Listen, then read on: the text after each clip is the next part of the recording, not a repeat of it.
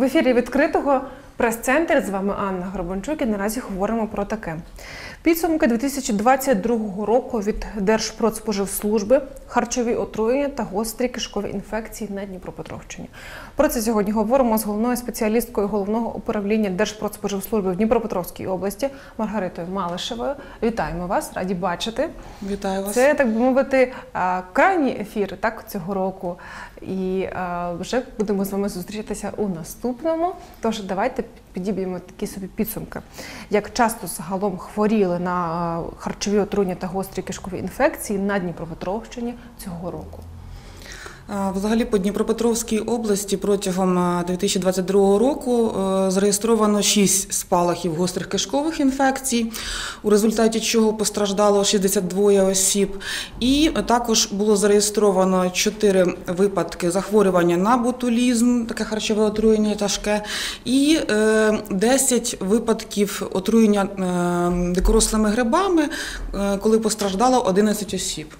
Угу. На які саме інфекції найбільше хворіли е, так мешканці Дніпропетровщини? От якщо говорити там за перше місце, друге, третє, ну умовно.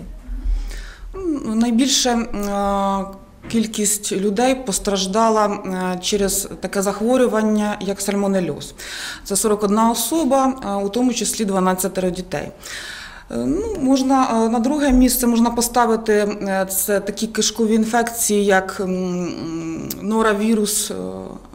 Ротавірус, так, вірусної етіології е, зустрічаються часто. І е, на третє місце е, можна поставити, мабуть, що такі харчові оці отруєння саме дикорослими грибами, тобто які е, також в поточному році дуже багато випадків були в порівнянні з минулим.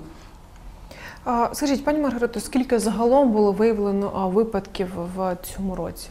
От, ну, харчових і гострих кишкових інфекцій. Якщо ми говоримо про гострі кишкові інфекції, як я вже говорила, це було 6 спалахів гострих кишкових інфекцій зареєстровано в домашніх осередках і в організованих колективах, в дитячому колективі і в дорослому колективі.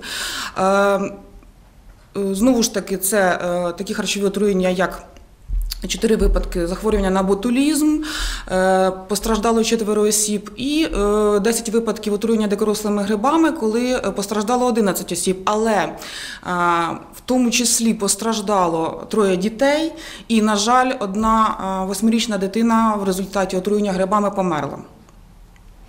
Зрозуміло, дуже співчуваємо родині так померлої дитини.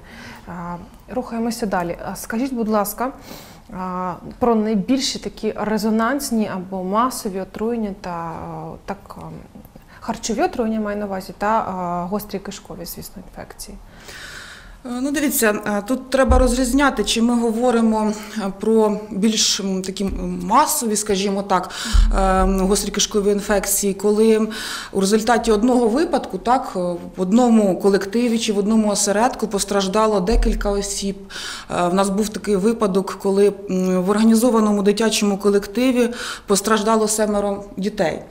Це один колектив, так. І це випадок був тоді було зареєстровано такий випадок, як сальмонельоз, так, захворювання на сальмонельоз.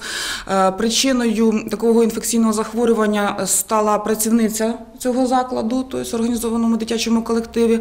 І Е, Вона була носієм такого захворювання і е, контактно-побутовим шляхом інфікувала діток.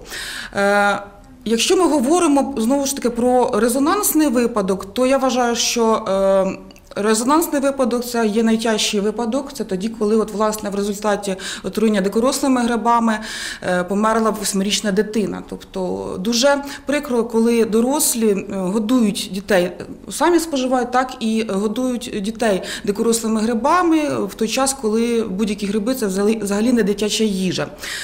Е, Тут я хочу ще зазначити, що якщо в поточному році е, було за- зареєстровано 6 спалахів гострої кишкової інфекції, то минулого року також було 6 спалахів гострої кишкової інфекції. Але в поточному році постраждало 60, 62 осіб, в тому числі 32 дітей. Минулого року це всього було 43 осіб. але постраждало 42 дітей. Тобто е, цього року у нас постраждало більше дорослих, минулого року більше дітей. Якщо ми говоримо в порівнянні з минулим роком ем, щодо такого захворювання, як ботулізм, то що минулого року, що цього року е, було по 4 випадки, і е, на щастя, не минулого, не цього року не зареєстровано летальних випадків. Хоч, хоча це дуже е, така тяжка харчова, харчове таке тяжке отруєння, так яке нерідко закінчується летально. З вами була Анна Гребенчук, а зараз телеканал відкритий перемикається на національний марафон Єдині новини.